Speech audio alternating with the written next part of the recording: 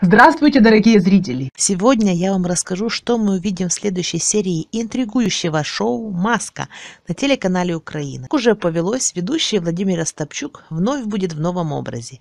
И на этот раз он заедет на сцену на мотоцикле под видом Джонни Деппа из фильма «Плакса». Что касается членов жюри, то Полякова будет с идеально прямыми волосами в новом вечернем платье. Дидзя появится в новых цветах с той же шляпой на голове, а Каменских Настя будет с уложенными сзади волосами в платье со стразами. Виник в обычном джинсовом пиджаке.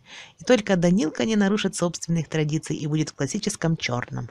Что касается самого шоу, то, судя по всему, оно близится к финалу, так как семь оставшихся масок в своих выступлениях будут стараться превзойти все ожидания членов жюри. Маска солнца, например, будет парить в воздухе, что Каменских назовет шедевром. Носорог же заведет весь зал зажигательным исполнением песни «Цвет настроения синий». Сом будет выступать на сцене с мотоциклом, а циклоп словно улетит на ракете в космос, выглядывая своими глазами через иллюминат. Серия обещает быть очень интересной. Жду от вас пальчики вверх и до новых встреч!